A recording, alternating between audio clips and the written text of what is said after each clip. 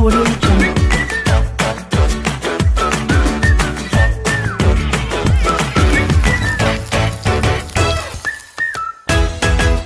Audio Jungle.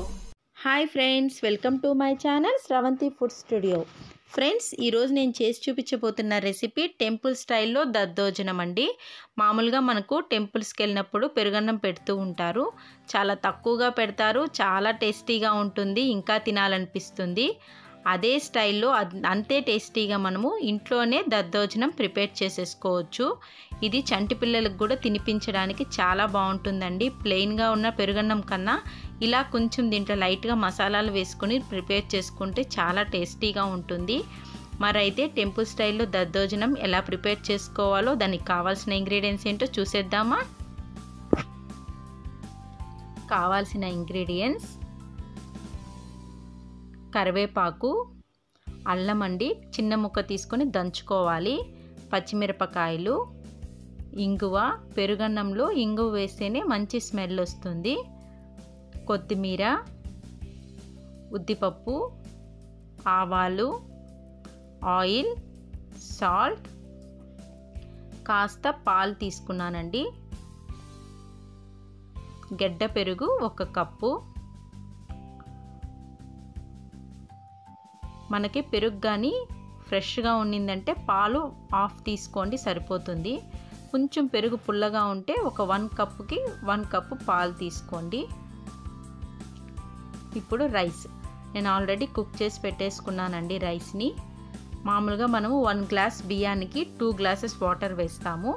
కాకపోతే దద్దోజనం prepare చేసుకునేటప్పుడు ఒక గ్లాస్ బియ్యానికి three and half glass water పోసుకోవాలి. అలా పోసుకొని ఒక్క విజిల్ ఎక్స్ట్రా రానిచ్చాను. ఫోర్ విజిల్స్ రానిచ్చానండి. చూసారుగా?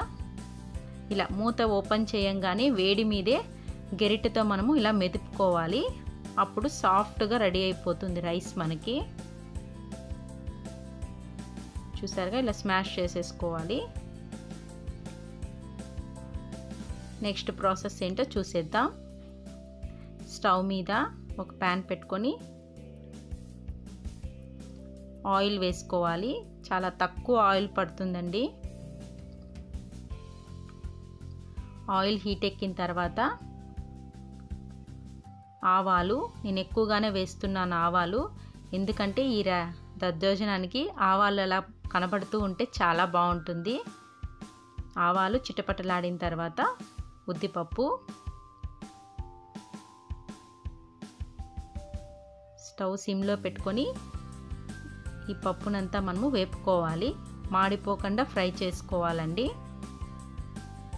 నెక్స్ట్ ఇందులో క్రష్ చేసి పెట్టుకున్న అల్లం పచ్చిమిరపకాయలు వేసి ఫ్రై చేసుకుందాం.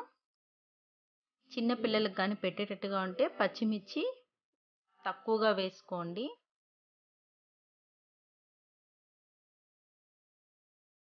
వేగిపోయాయి కదా. ఇప్పుడు ఇందులో ఇంగువ యాడ్ చేస్తున్నాను.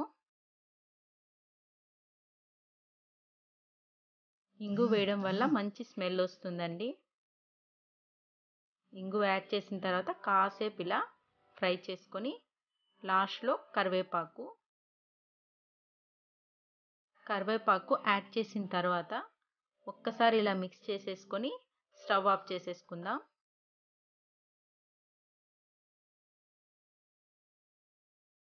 నెక్స్ట్ రెడీ చేసి పెట్టుకున్నాం కదా ముందుగానే రైస్ని. ఈ రైస్లో ఇప్పుడు మనము పాలు యాడ్ చేస్తున్నాను. పాలు ఎందుకు యాడ్ చేస్తానంటే మనకి రైస్ కొన్ని అవర్స్ అయినా కూడా పుల్లగా అవ్వకుండా టేస్టీగా ఉంటుంది. పాలు యాడ్ చేయడం వల్ల ఇంకా కమ్మగా ఉంటుంది.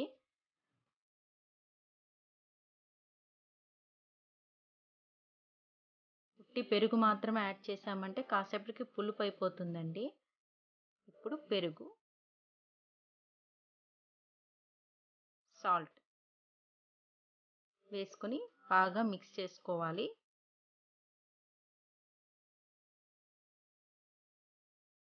నెక్స్ట్ ఇందులో రెడీ చేసి పెట్టుకున్న పోకును వేసుకుందాం.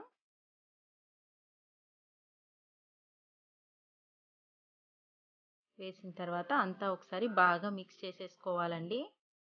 ఇందులో కావాలంటే డ్రై ఫ్రూట్స్ కిస్మిస్ కాజు కూడా యాడ్ చేసుకోవచ్చు. ఫ్రూట్స్లలో గ్రేప్స్ ప్రొమగనేట్ కూడా యాడ్ చేసుకోవచ్చు. కొత్తిమీర యాడ్ చేశాను.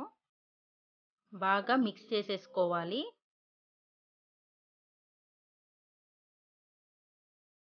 చూసారుగా ఫ్రెండ్స్?